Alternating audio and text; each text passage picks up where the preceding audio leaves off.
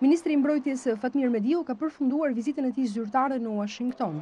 Në ditën e fundit të kësaj vizite në ambasadën shqiptare në Uashington u zhvillua një pritje ku morën pjesë zyrtarë të lartë të administratës së Departamentit të Mbrojtjes, të Departamentit të Shtetit, diplomatë dhe atashe ushtarakë të akredituar në Uashington.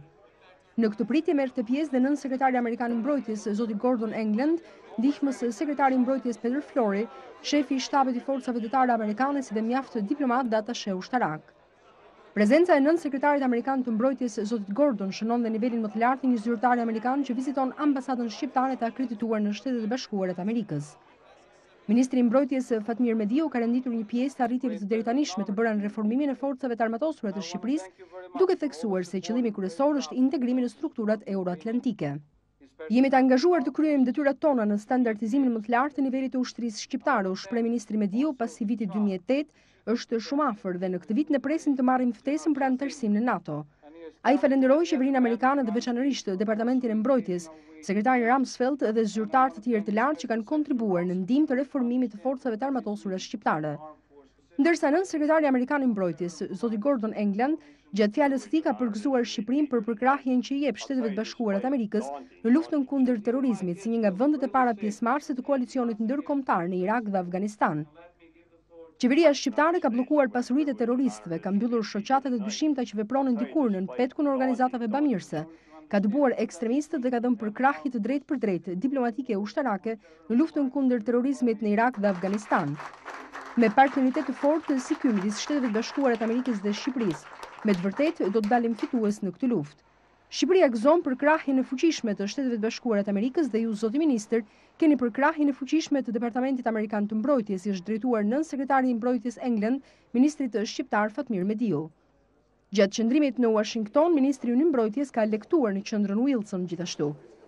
Shqipëria është e angazhuar në procesin e asociim-stabilizimit me Bashkimin Europian, proces që pritet të firmoset së shpejti dhe ka një objektiv të qartë për integrimin në Aleancë dhe Bashkimin Europian, u shpreh ministri gjatë lektimit të tij. Ai theksoi se ajo çka është më e rëndësishme është se integrimi gëzon mbështetjen e plotë dhe konsensusin e të gjitha forcave politike, qeverisë dhe opinionit të gjerë publik në Shqipëri. Sipas ministrit Mediu, NATO ka luajtur një rol të rëndësishëm në integrimin e shpejtë të vendeve të Europës Lindore dhe Qendrore dhe të njëjtën gjë duhet të bëjë dhe me Ballkanin. Gjatë këtij leksioni në Qendrën Wilson, ministri Mediu ka theksuar se integrimi në NATO dhe Bashkimin Europian kërkon reforma në fushën politike, ekonomike, legjislative, ushtarake, bashkëpunim të fortë ndërinstitucional dhe një rol të qartë konstruktiv në rajon. Gjatë fjalës së tij, ministri Mediu iu përgjigj edhe pyetjeve të bëra nga analistë, gazetarë dhe personalitete të njohura të jetës publike në Uashington. Etapa e fundit e vizitës së ministrit tonë të Mbrojtjes ishte vizita në Komandën Qendrore të Shteteve të Bashkuara të Amerikës në Florida, Në këtë qendër kanë përfaqësuesit e tyre dhe vende që angazhohen direkt në operacionet e koalicionit anti-terror. Shqipëria në këtë komandë përfaqësohet nga dy ushtarakë.